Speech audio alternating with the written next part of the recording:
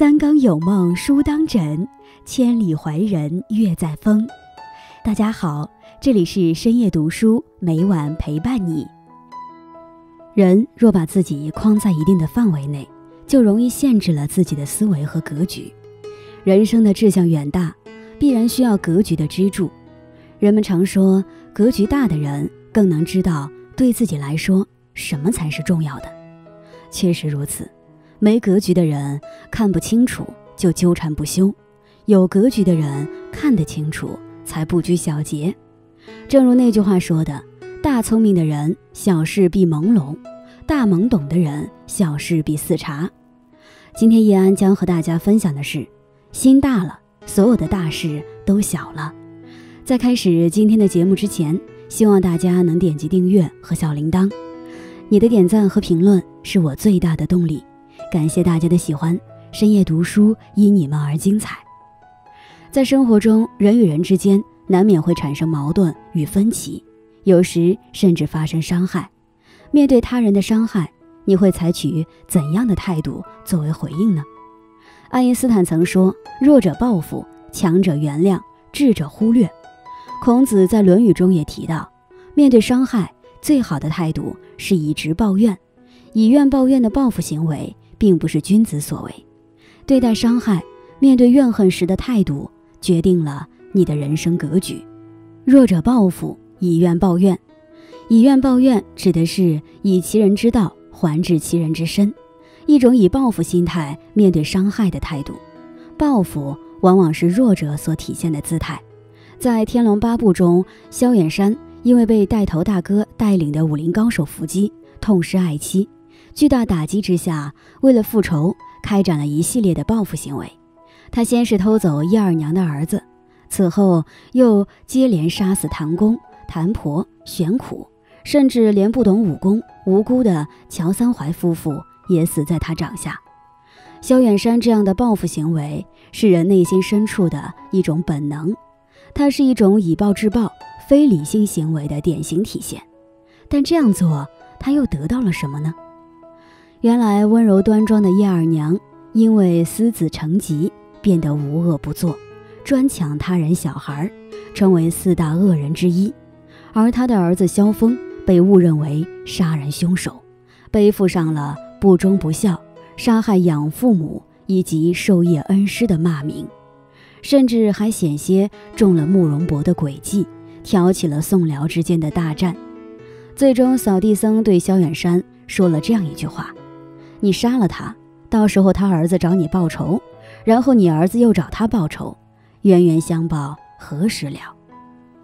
类似的情况在现实生活中并不少见，但这样的结果往往是非但没有解决问题，反而闹得两败俱伤，成了一时之快，却是害人害己。之前发生的丧子母亲泼硫酸复仇的事件，仍记忆犹新。北京市房山区某村村民张二群，十三岁的儿子小强掐死了来京务工人员韩浪六岁的儿子小亮。小强被劳动教养三年，法院判决张二群夫妇索赔韩浪十五万余元，而张家一直以种种理由一分未赔，且未有任何道歉表示。法院再次进行调解。韩浪要张家先支付小亮的丧葬费，也再次遭到张家拒绝。又过了半年，张家的态度依然没有任何改变。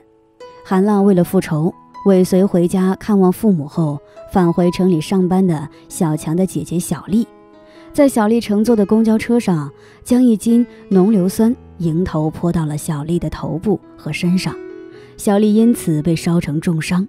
同车的其他乘客也不同程度的被烧伤，韩浪被判处有期徒刑十三年，赔偿包括小丽在内的两名被害人各项损失共计四十八万余元。审判完的时候，小丽父亲激动地嚷着：“判得太轻了！”此话一出，韩浪用戴着手铐的手指着他，大骂道：“活该！那是你应该的，是你害死了我的儿子。”我儿子死了，我也让你女儿受伤，难受死你。因为受伤，所以愤怒；因为愤怒，所以报复；因为报复，引发了更深的愤怒。这世间最好的报复，就是运用那股不平之气，从根源解决问题，使自己走向成功。弱者只会用报复来弥补情绪，冤冤相报，最终陷进仇恨的漩涡里，无法自拔，害人害己，得不偿失。若是以怨报怨，则仇恨永远没法消弭，只会让自己束缚在仇恨之中，内心变得越来越狭窄，逐渐迷失自我，最终沦为生活的弱者。强者原谅，以直报怨。以直报怨是孔子所最为推崇的一种对待怨恨的态度。直是指以客观公正的态度，不因为先前的伤害而影响自己的判断，依然给出正确的态度作为回应。春秋时期，齐桓公刚刚继承王位，管仲就被关押了起来。因为在先前的夺位过程中，管仲是公子纠的支持者，并且曾经差点一箭射死公子小白。也就是后来的齐桓公，初登帝位的齐桓公急需人才辅助，鲍叔牙一再推荐管仲，并且表示，如果想要让齐国称霸，必须任用管仲为相。齐桓公在与管仲聊了三天三夜后，认为管仲有大才，于是放下前仇，选择原谅，并且尊管仲为仲父，委以大权。最终，管仲也是不负所托。帮助齐桓公成为春秋五霸之一。与此类似的例子还有唐太宗李世民与魏征。魏征起初是太子李建成的谋士，曾劝李建成早日除去李世民，但李建成没有听。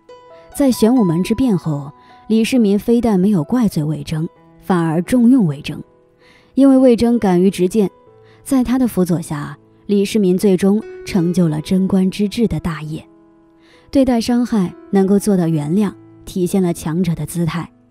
宫崎骏说：“内心强大才能道歉，但必须更强大才能原谅。”对待伤害，齐桓公和李世民选择了原谅。正是这样一种对待伤害的态度，也让他们变得更加强大，最终成就伟业。子贡也曾问孔子：“说是有没有一个字可以作为终身奉行的原则呢？”孔子给出的答案就是一个“数”字，也就是宽容与原谅。原谅他人最主要的是为了解放自己，避免陷入仇恨中无法自拔。至于那些伤害你的人，自然会受到法律应有的惩罚，或是道德的谴责。须知天理昭昭，报应不爽，善恶到头终有报。你只管善良，恶人自有天安排。当你做到了宽容与原谅，内心也就会变得逐渐强大，所有的大事也就都小了。智者忽略，一笑而过，但并不是所有的怨恨都能被轻易原谅和放下的。《道德经》有言：“和大怨，必有余怨。”意思是说，有些大的怨恨或是伤害，即使调节成功了，总有一些是消除不了的。在这种情况下，忽略。或许是最好的解决方法。三国时期，曹操与袁绍在官渡展开激战，因为实力悬殊，曹操阵营中有不少人都认为无法战胜袁绍，但曹操最终以少胜多，大败袁绍。随后，曹操一位心腹在袁绍军中发现了许多部下与袁绍往来的书信，其中不乏一些示好之词。他立刻把这些书信交给了曹操，但曹操随即下令将这些书信立刻焚烧。曹操说：“如果他人知道这些人的名字，心中必有隔阂，难免日后会有怨恨，不如直接付之一炬，不知道为好。”曹操的这一行为，让那些原本惊恐不安的部将转惊恐为感激，变得更加忠诚，为曹操统一北方奠定了人心基础。有些事知道了，难免无法释怀，与其难以放下，不如直接忽略。寒山拾得问对路中有云：“世间有人谤我、欺我、辱我、笑我、轻我、贱我、恶我、骗我，该如何处之乎？”师德答曰：“只需忍他、让他、由他、避他、耐他、敬他，不要理他，再待几年，你且看他。面对伤害、重伤，学会一笑置之，超然待之。心小了，所有的小事就大了；心大了，所有的大事都小了。让自己远离情绪的控制，正确面对他人的伤害和内心的怨恨，像强者一样学会原谅与宽容，像智者一样学会放下与忽略。少了怨恨，你会发现更美好的世界，遇见更强大的自己。与朋友们共勉。今天分享到这里，如果你也喜欢这篇文章，并且让你深有感触。希望你能分享给身边的人，让我们一起在阅读中成为更好的自己。最后，在 YouTube 和 Facebook 上都能找到深夜读书哦，依然期待与你的互动。感谢你的收看，我们下期再见。